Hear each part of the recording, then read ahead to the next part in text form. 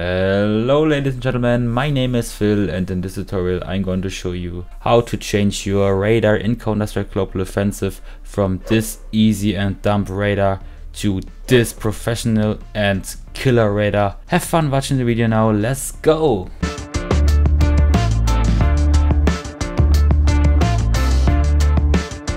I will show you how to get a really cool radar, a really better radar, for have a better gameplay, for have better game experience.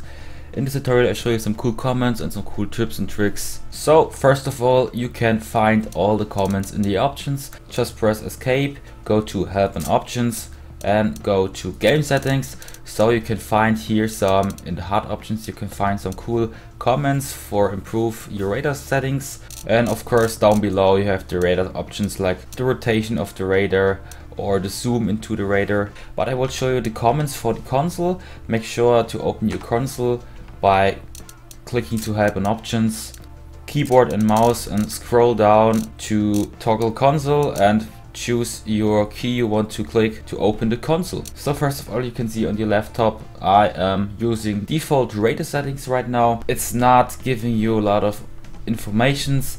You can see where the bomb is for example here you see there's the bomb in this way but you can see where exactly to find the bomb so of course for example if you see the enemies right here you don't know where the enemies are just see on the radar there's a red point but you don't know how to find the enemies where the exactly positions is right now so first of all open the console and type in the command CL radar scale 1. It changed the size of the map in the radar. If you say 1, it's really close. If you type in a lower value, for example, uh, 0.5, you can see more of the whole map. For example, you can see the bomb is here on long, right in the top here on A long. The second comment is CL radar always centered 1. So if you type it to 1, that means yourself, your position is always in the middle of the radar. So as you can see here, you are in the middle of the radar. The problem here is you can see there are a lot of informations you don't need. For example, the black, the black wall, the black area here. If you type it to zero, that means the map is always centered. So you can see you are on the right side of the radar, not in the middle anymore. And of course, you can have more information here. In my opinion, both settings are very good. You have to choose for yourself what you want. I have it on one, because for me it's important what is in my area right now. The third comment is CL HUD radar scale 1 and this will change the size of the whole HUD here in the overlay. So default setting is on 1 and if you change it on 2 you have a much bigger radar and in my opinion that's very important. I think nothing is more more important than the radar in game. It gives you all the informations about the game, especially if you have teammates who don't give some informations. So in my opinion, you can go for 2 or anything, it's absolutely okay. Don't make it too small like 0.5, that's not good. You have you can't you can't read the information that good as you have it on 2 on the value 2 Default comment is CL radar icon scale min. So this means it will change the scale of the icons in the radar, like the bomb or like enemies, like your teammates, like yourself. If I go for CL radar icon scale min 2, it will grow up the size of the icons in the radar. If the icons are too big, you have the problem, you can see how many enemies are staying here right now. You see just some red points and that's very hard. So in my opinion, don't make it too big, but don't make it too small. Make it like 1, 1.15 or something else. I prefer to make it bigger, like uh, 1.5 or something else like that. The fifth comment is CL radar rotate 1. That means if you turn yourself, the radar will always turn in the direction you watch. Okay, so if I make it on the value 0, the radar is always in the same direction.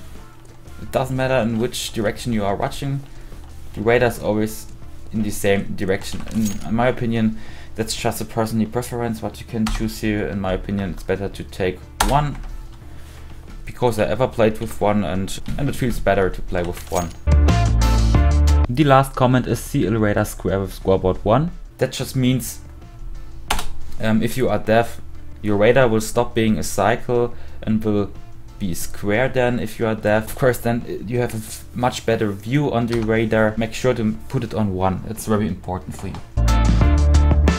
The last one I want to show you is to change the radar skin and to get a really really cool radar skin in the overlay and I will show you now how to change the radar skin. So for example you go to simpleradar.com and you can download here much better radars for Counter-Strike Global Offensive. It's very easy you see you see here some previews of some radar maps and it's very easy you can just click uh, scroll down and click on download here especially here on full pack download of course, there are not all maps included. For example, here is Dust 2, Inferno, Cache, Mirage or Overpass. So just go in your library of your games, click on Console Global Offensive, right click Properties, go to your local files and then click on Browse Local Files. Go in CSGO, go to Resource and then go to Overviews and you can see all overviews here.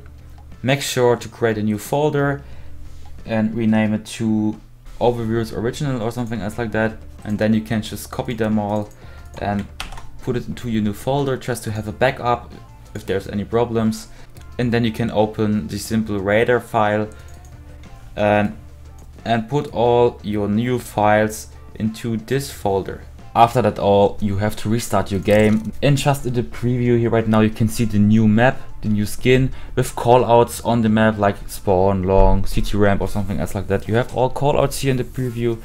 And in game, of course, you have another radar 2. Choose your team. And on the top left, you can see the new radar and it's pretty accurate. Yeah, I think that's a really cool improved radar for in-game settings. I think your gameplay will be better very fast. So I hope you guys enjoyed the video. I hope you guys enjoyed this tutorial. If you like this tutorial, please subscribe to my YouTube channel and write a comment down below in the comments. And you can find some cool other videos right down below in the description. Make sure to give me a like, to like this video, I know blah blah blah. So my name is Phil, see you in the next video, bye bye.